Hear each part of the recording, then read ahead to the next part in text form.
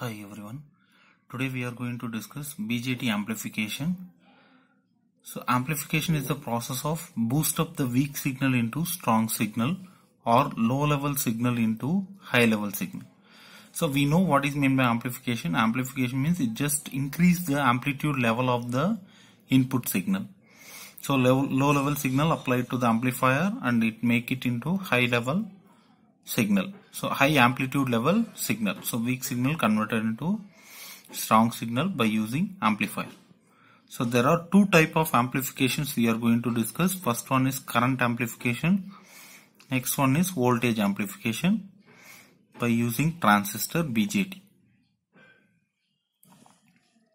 So first one BJT as a current amplifier. So circuit diagram we have taken. So current common common emitter configured circuit diagram we have taken. And see in this figure uh, this is this two are VCC and VB are DC bias. These two are DC voltages and this one is a AC supply. And this output is also AC signal. See amplifier means it is used to amplify amplify the AC signals right? See one why we are using DC supplies means DC supply is just used to set the Q point in the active region, right? So for that reason, we are taking a this DC biases and this DC bias is the uh, junction voltage between the base and emitter and this one is between the collector and emitter. And this by default we know 0.7 for silicon and 0.3 for germanium, right? So try to understand this voltage, uh, try to understand the difference between this voltage and this voltage, this voltage and this voltage. So what is the difference? This is DC, this is AC. This is DC and this one is AC. So first we are applying the DC biases to set the transistor or to operate the transistor in the active region.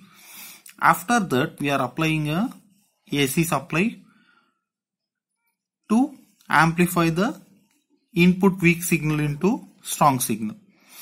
So we'll see how we are going to get the current amplification by using this circuit diagram. So when the above transistor operating in an active region, it can be used as an amplifier. So just now we, we had discussed. So even this, the, about this we discussed in the previous topics also. Operating in active region can be achieved by applying a proper DC bias voltages that is VB and VCC. Already I told you these two DC biases we are applying to set the transistor in an active region. So VB will be forward bias and VC will be reverse bias.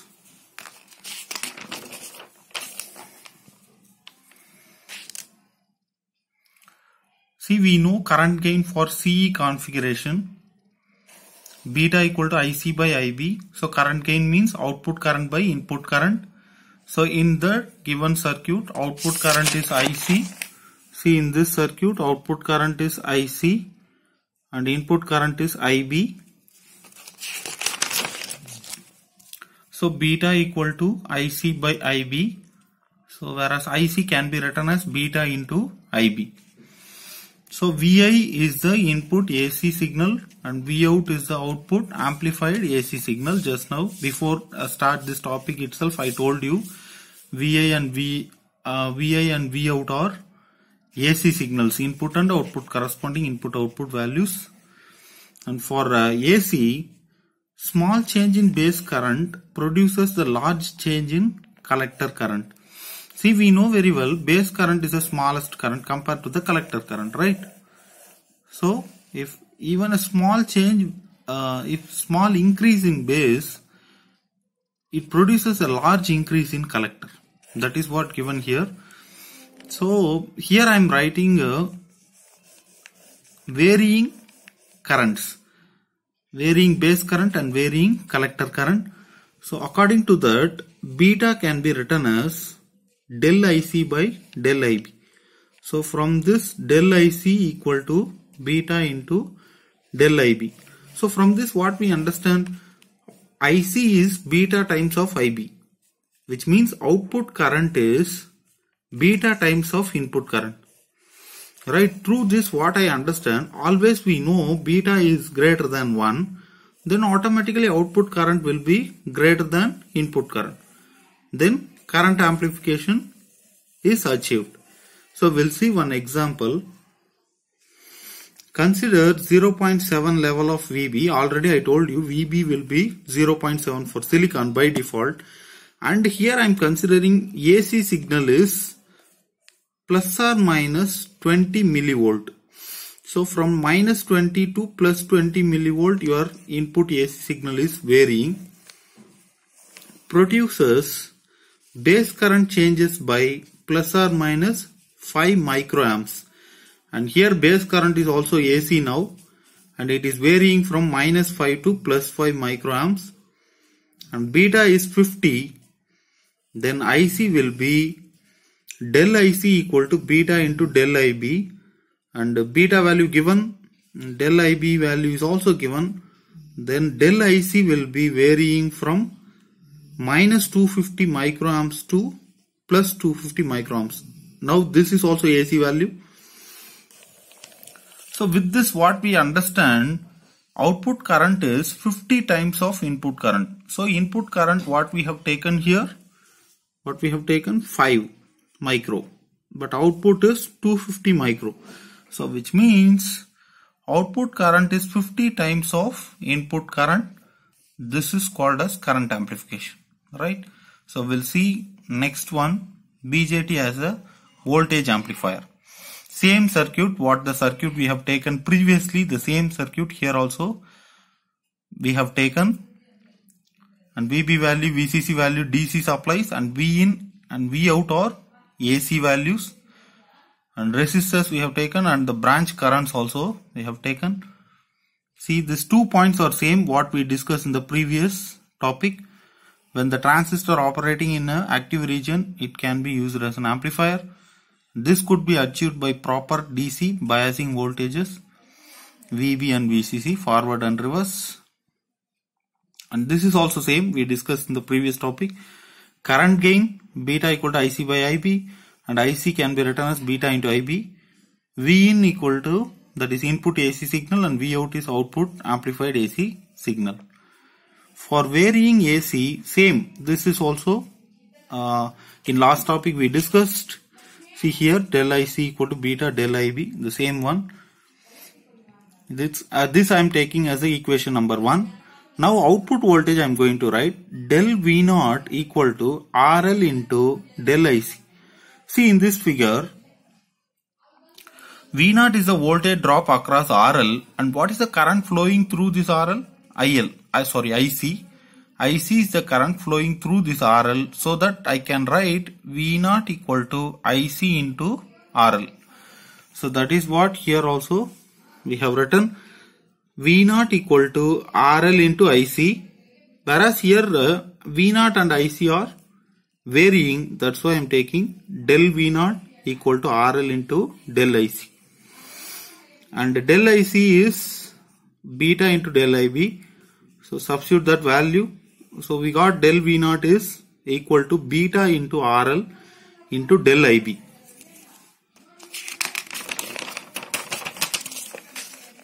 Now input voltage del VI equal to RB into del IB.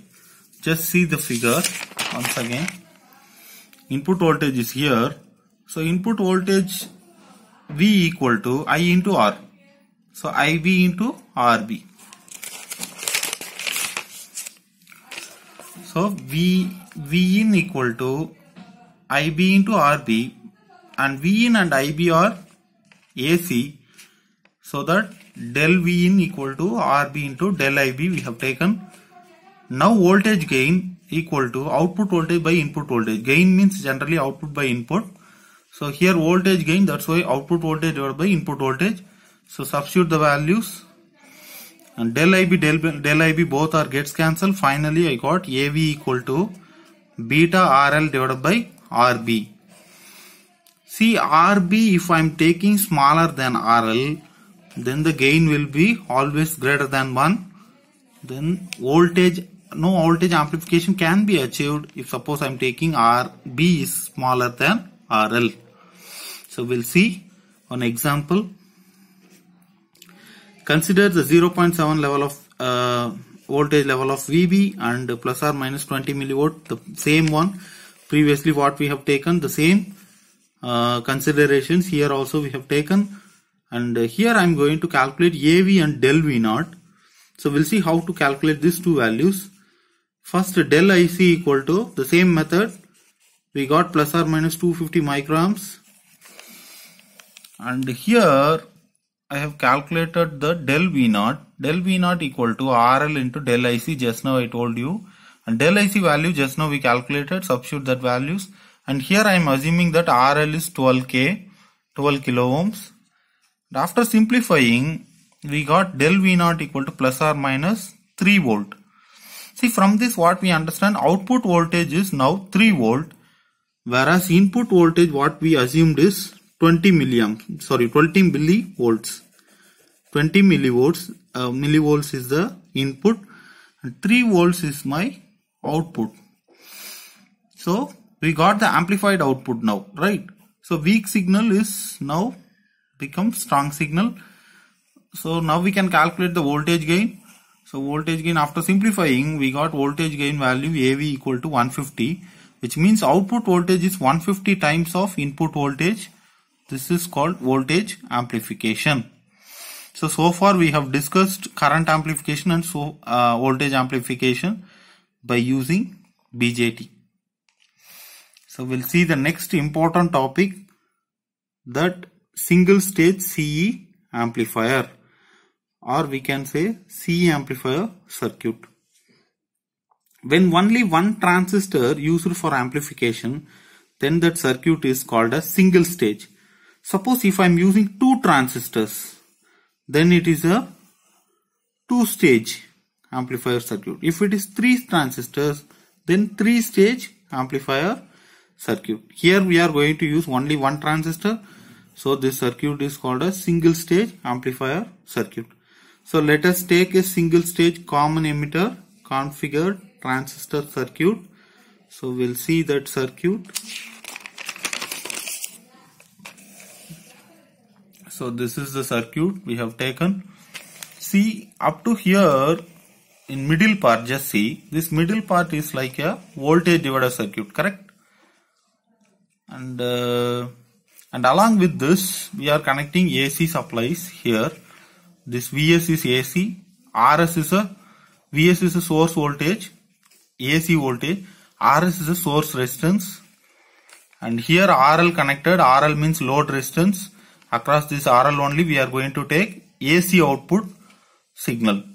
It is a AC output signal right? And RE is connected. And why we need to connect this capacitors? What is the purpose of connecting this capacitors? We'll discuss why we are using capacitors here. I'll tell you why we are using capacitors. And base emitter collector and the corresponding currents IC current IE current IB current VCC is the DC bias applied to both base as well as collector side right? Why why DC bias is required? Because to set the transistor in the amplification mode for that DC bias is required. Once your transistor is ready for ampli amplification then we can we can give the we can provide the AC signal to the transistor then it amplifies that AC weak signal into strong signal. So this is the input signal, sine signal, weak signal we have taken and this is what the output amplified signal what we are getting after the amplification done by the single stage amplifier circuit. So we'll see construction details. When a weak AC signal is applied that is Vs to the base to the base of the transistor, a small base current starts flowing. Yes, of course, when we apply Vs, when we increase Vs here, then automatically IB current will increase. and if IB is increased then collector current will also increase. Already just now we discussed IC equal to beta IB. When IB increase IC is also automatically it will increase and in this circuit resistors R1 and R2 forms the voltage division. Already I told you this structure is a voltage divider circuit structure. This R1 R2 acts as a potential division potential dividing resistors right so that is what given here. R1 and R2 forms the voltage division and resistor RE provides good stabilization for amplifier. Sorry for amplification. Both are correct. Stabilization is not there in our syllabus. If you want I will send some other uh, material. You can refer it. See why we are using RE means for better stabilization for amplification. Remember this point.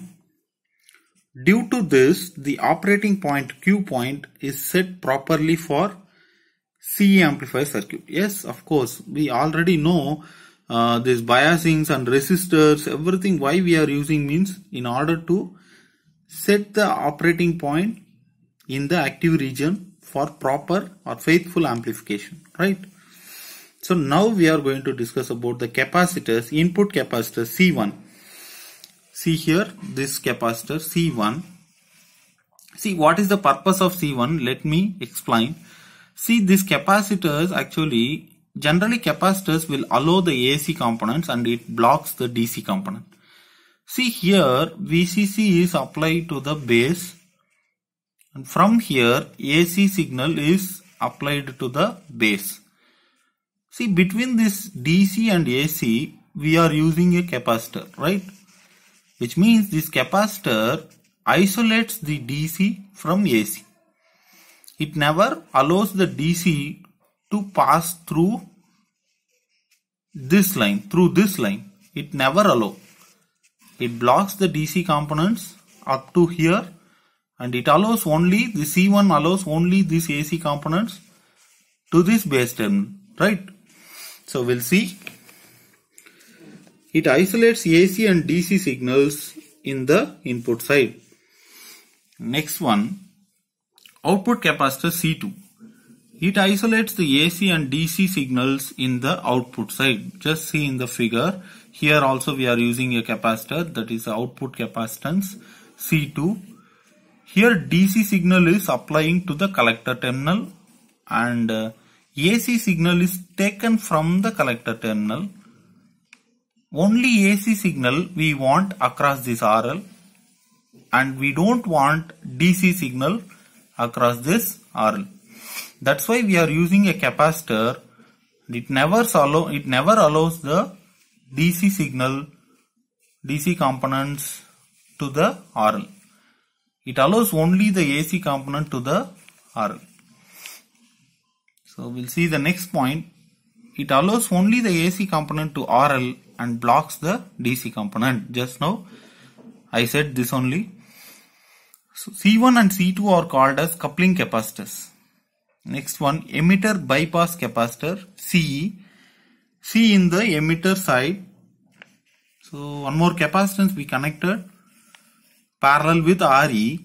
So this is called as bypass emitter uh, emitter bypass capacitor which means it bypasses the AC component to the ground to the RL one side of the RL we can say or otherwise to the ground and it never allows the voltage drop AC drop across this RE. Suppose if, if I am not connecting this CE the AC component will drop across this RE right. So to, in order to avoid the drop across RE, we are connecting a capacitor parallel with this RE. Right? So that this is called as bypass capacitor. It bypasses the AC component and it prevents from voltage drop across RE. Just now I told you.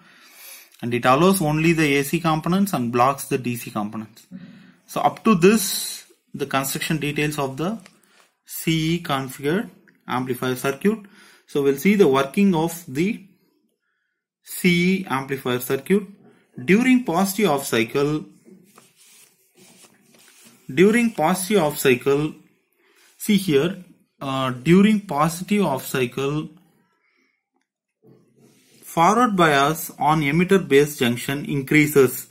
See we are applying the uh, vs input voltage to the base terminal. So to the um, means between the emitter and base junction right? So during positive off cycle forward bias on emitter base junction increases. This in turn increase the base current ib when IB is increases, automatically what will happen? IC also increases because the reason is IC equal to beta IB. If IC increases, V out, V out equal to VCC minus ICRC. Just see the figure. V out is here. VCC is applying voltage. Just see only the collector emitter side. Don't see the base side. V out can be written as VCC minus ICRC because VCC is the total voltage. This is the total voltage is VCC. From the total voltage, if I subtract ICRC, I'll get V out. Right? So, V out equal to VCC minus ICRC. IC is here increasing, but VCC is constant then what will happen if ICRC exceeds VCC then V out becomes negative when ICCRC exceeds VCC. So that Vs increase in positive direction whereas V out goes in negative direction. See in the, in the diagram itself I will show you See positive off cycle when I'm applying in the input side, I'm getting a negative off cycle, negative values in the output side. The reason is IC is keep on increasing.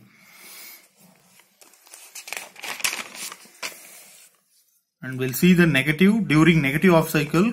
What uh, what is the operation of the what is the function of the transistor? We'll see. Uh, forward bias on the emitter base junction reduces. This in turn reduce the base current IB. Since IB is reduces, then automatically IC is also reduces because of this relation. Then now IC is reduces.